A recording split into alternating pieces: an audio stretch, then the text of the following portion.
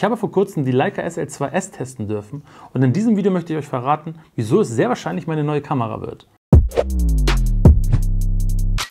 Ich sitze hier mit meinen zwei Leica-Kameras, einmal die Leica Q2 und einmal die M10P. Ich weiß, es ist ein Luxusproblem, doch irgendwie bin ich nicht zu 100% zufrieden mit beiden Kameras. Und da kommt jetzt die heutige Kamera ins Spiel. Und zwar die Leica SL2, genau genommen die SL2S. Die durfte ich letztes Jahr im Sommer einmal testen. Da nochmal ein riesigen Dankeschön an Nils Langenbacher und Foto Franz. Die haben mir diese Kamera für eine Woche einmal ausgeliehen und so konnte ich sie so ein wenig einmal für mich testen. Aber bevor ich jetzt hier noch mehr schnacke, werde ich euch jetzt einmal in die Vergangenheit schicken. Dort habe ich ja auch schon direkt ein Video damals aufgenommen mit der SL2 in der Hand. Da möchte ich euch im Anschluss dann mein Fazit sagen und erzählen, ob ich diese Kamera kaufen werde. So, ich habe jetzt hier die SL2 mit dem 24 mm Summilux und dem M-Adapter. Das heißt, das ist jetzt eine manuelle Linse. Ich habe auch gleich nochmal das 2470, was von Leica ist, direkt und dann auch nativ mit dieser Kamera kommuniziert. Das heißt, dann habe ich auch Autofokus, aber ich wollte erstmal mit dieser Linse hier das Ganze testen, weil ich das tatsächlich auch ganz spannend finde, sich, sich vielleicht irgendwann mal diese Konstellation sogar zu kaufen, dann die M abzugeben, die Q abzugeben und dann das hier als Lösung hat, weil ich finde, das ist noch von der Größe her so ein bisschen größer nur als die M und hast trotzdem hier den schönen Look durch die Objektive. Also ich muss so weit weggehen, so, damit ich hier die Blume in den Fokus bekomme. Das ist der einzige Nachteil bei diesem Objektiv, dass du halt relativ weit entfernt sein musst, um zu fokussieren. So, dann suchen wir uns eine schöne Kulisse. Dort, das Haus, glaube ich, ist schon ganz schick. Ist eigentlich sehr ähnlich wie die Q2. Von daher, boah, das sieht cool aus. Ein bisschen zentraler noch, sehr cool. Und jetzt muss ich einfach noch ein bisschen rein fokussieren. Gucken wir mal. Warte mal kurz. So. Auf jeden Fall sehr schön, dass man das Peaking hat. Kiko will auch. Sieht cool aus. Ich gehe mal ein bisschen näher jetzt, damit man auch die 1.4 ein bisschen sehen kann. Das Bouquet. Das ist echt, oh, das sieht echt gut aus, ey. Also, du siehst gut aus, Schicker. Ich mache jetzt mal so ein Foto. Für die Leute, die mir folgen, die wissen natürlich, dass ich zu Hause auch mit Sony arbeite. Da ist der Vorteil, dass du da immer ausklappbare Monitore hast. So bist du scharf. Okay, und jetzt gehe ich mal ganz tief runter. Jetzt sehe ich gerade nicht, was ich hier mache. Mal sehen, wie nah ich rankomme an sie. So, das hier ist das nächste, was ich schaffe. Ich schalte einfach mal dahin. Ein bisschen tiefer haben wir jetzt hier. Sehr schön. Schau mal zu mir. Vielleicht hier nutze ich das als Vordergrund und du stellst dich da so zu der äh, pinken Wand. Zu der rosa Wand. Genau. Ja, das kann sein. Ich habe schon lange kein Shooting mehr gemacht. Ey. Geht aber gut mit dem Objektiv, muss ich schon sagen. Das ist schön, ne?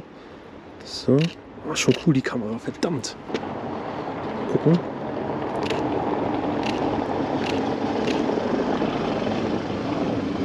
Ja, eine Alternative wäre das jetzt zum Beispiel, wenn man jetzt ähm, die Leica M verkauft und die Leica Q2 verkauft und sich dafür halt diese hier holt mit dem Objektiv. Könnte noch ein Summilux noch dran schnallen, dann hast du echt ein ganz cooles Setup. Es ist dann zwar auch eigentlich eine Konkurrenz zu meiner A1, die ich sowieso schon habe. Also könnte man auch sagen, hol doch die einfach, aber es ist trotzdem noch mal was Besonderes mit einer Leica zu fotografieren, wie ich finde. Kann ich mir hier so eine schöne Aufnahme zeigen. Ist auch eine sehr, sehr schöne Kamera. Ich finde die Leica M natürlich schöner oder die Leica Q2 auch. Aber die hat trotzdem auch was. Also sieht auf jeden Fall schick aus als eine Sony, wie ich finde. Also schau mal richtig zu mir. Genau. Schau mal nach oben. So. Und ich mache hier alles gerade manuell. Aber das Peaking hilft wirklich sehr, sehr viel. Ich werde jetzt einmal durch den Sucher schauen, damit ich euch sage, wie das so ist. Das ist wirklich ein Traum, dieser Diese Frau. Dieser Traum, ja.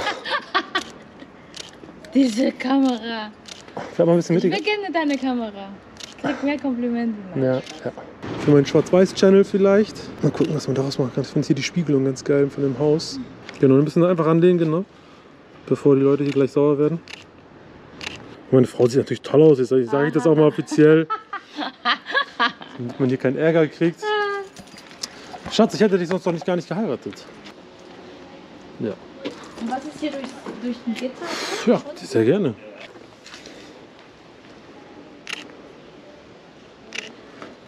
Sehr cool.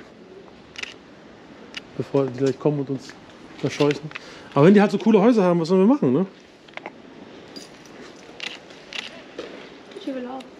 Sehr, sehr schöne Bilder schon.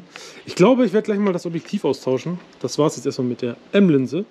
Und wir gehen jetzt mal rüber zum nächsten Objektiv. Nun habe ich hier das Leica Vario Elmarit SL f2.8 2470 ASPH. Spherical. So, ich habe hier vorne kein Filter dran oder so. Aber jetzt haben wir auf jeden Fall Autofokus. Ich mache mal die Cam an. Ähm, hier haben wir schon mal direkt ein schönes Model. Jetzt haben wir aber auch hier durch den, den Joystick kann ich den Fokus bestimmen. Und, die hört sich auch wirklich smooth an. Gefällt mir. Bin tatsächlich jetzt gerade so ein bisschen hin und her gerissen, weil es wäre schon eine geile Kombo, wenn man so ein Objektiv trotzdem hat. Man kann sie auch von Panasonic kaufen, das hat ja auch einen L-Mount. Und dann kannst du dann ähm, ein bisschen variieren. Das ist schon echt ganz geil. kannst hier halt einen 50 mm Zoomilux und 24 mm dran klatschen und Videos damit machen und damit sehr schön im Urlaub auch mit kleinen minimalistischen Setup arbeiten. Und hast ein bisschen mehr Flexibilität, als wenn du nur eine Q2 dabei hast. Das ist natürlich aber auch kostspieliger. Genau, schön. 70 mm mal ausnutzen. Ein bisschen rauskommen, ein bisschen nur rauskommen.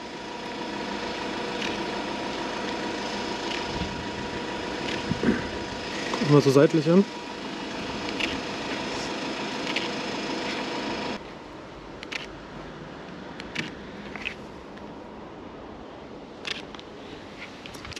Mich mal an. So, okay, warte. Sieht cool aus. Guck mal ruhig zu mir mal. Das war es jetzt hier von der SL2 und dem kleinen Shooting. So, wir gehen jetzt nochmal zurück ins Studio. Willkommen zurück im Jahr 22, so schnell geht das. Und jetzt möchte ich euch kurz verraten, was meine finale Meinung zur SL2S ist. Erstmal zu den negativen Dingen bei der Kamera, das habe ich auch im Video schon gesagt, sie ist halt sehr, sehr klobig, besonders mit einem L-Objektiv. Äh, da ist schon gleich viel, viel schwerer als meine G-Master-Objektive mit meinen Kameras und das ist eigentlich nicht das, was ich wollte. Aber es ändert sich, sobald du ein M-Objektiv dran schraubst, ist das Ganze fast so kompakt wie eine M10. Und das ist schon wieder dann interessant für mich, denn ich fand den Look den ihr auch bei den Fotos hier gerade gesehen habt, mit den M-Objektiven viel, viel schöner als die von den L-Objektiven. Bei den L-Objektiven müsste man noch ein bisschen in der Post was machen, aber M-Objektiven, da könnte man fast sagen, das ist so ein kleiner Leica-Look. Es hat mir so viel Spaß gemacht, auch mit der Kamera zu fotografieren. Das Klickgeräusch war schön. Und ja, ich weiß, das ist alles hier ein Luxusproblem. Ich habe hier schon zwei tolle Kameras. Und deshalb bin ich tatsächlich jetzt einmal überlegen, ob ich die M10 erstmal abgebe und dann halt die SL2S hole.